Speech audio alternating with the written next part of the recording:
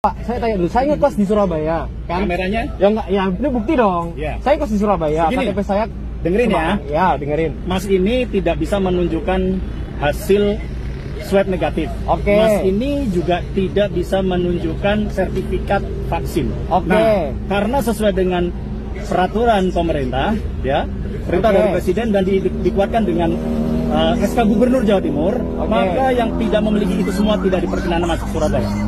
Oke, sekarang pertanyaan saya, kalau gini. saya anak kos, kos? ya, Ada surat keterangan kosnya nggak dari Pak RT Pak RW? ya saya nggak tahu pak.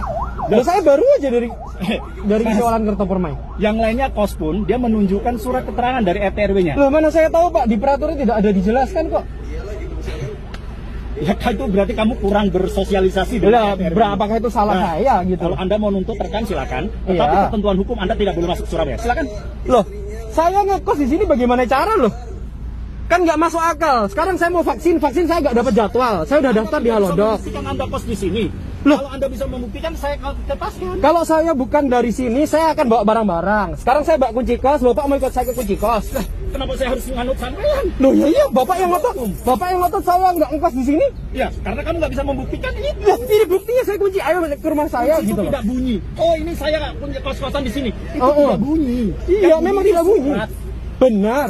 Yang bunyi itu surat. Iya, benar. Nah, sekarang gini, Anda keluar. Loh, Anda sekarang pertanyaan saya, kalau memang ini dari Surabaya boleh masuk, kenapa jalan yang dari Surabaya ditutup? Padahal saya tidak perlu muter sampai keluar. masuk Surabaya sini, bukan di sana. Dari sana orang saya dari Siwalan Kerto kan kamu putar balik di sini selesai itu. Loh, aneh. Sekarang Sekarang saya tanya, kalau saya nggak bisa masuk Surabaya, saya platnya plat Semarang, terus saya ke Semarang nggak diterima, terus saya ke mana?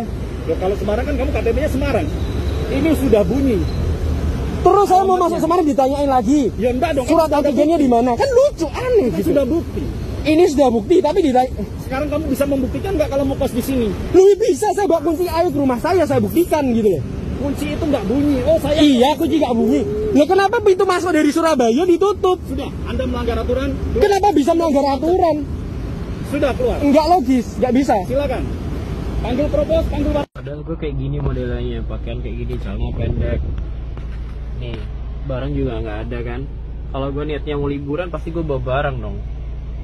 Ya ke, dikasih teguran, ya kalau semisal kamu mau lihat sini lagi, kamu harus bawa surat domisili, selesai kan? Kenapa dipersulit gitu loh pak?